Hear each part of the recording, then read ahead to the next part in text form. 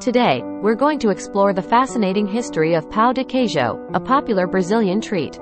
We'll also show you how to prepare this delightful snack and discover its various styles. History of pão de queijo.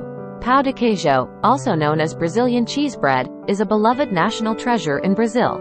Its roots can be traced back to the 18th century when the African and indigenous communities influenced the culinary traditions of Minas Gerais, a state in southeastern Brazil.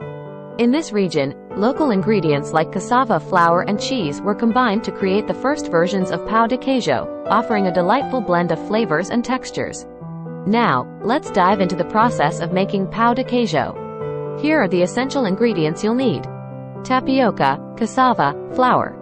Cheese, typically, Minas cheese or Parmesan. Eggs. Milk. Oil or butter. Salt.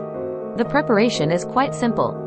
First, mix the tapioca flour, cheese, eggs, milk, oil or butter, and a pinch of salt in a bowl until you have a smooth, dough-like consistency.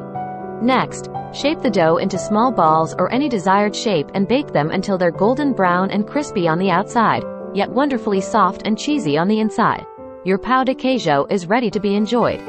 Pão de queijo comes in various styles and flavors throughout Brazil, catering to diverse tastes and regional preferences. In Minas Gerais, the traditional recipe is often served, while in other parts of Brazil, you might encounter variations like pão de queijo de goiabada, where guava paste is added for a sweet and savory combination. Another popular variation is pão de queijo com chorizo, where chorizo sausage is incorporated, creating a delightful twist. Pão de queijo has also made its way into international cuisine, gaining popularity worldwide as a gluten-free and tasty snack. And there you have it, the fascinating history of pão de queijo, a simple yet incredibly delicious Brazilian treat. Whether you enjoy it in its traditional form or try one of the many creative variations, you're in for a delightful culinary experience. Thanks for joining us on this journey, and be sure to try making some pão de queijo for yourself. Like, comment and subscribe.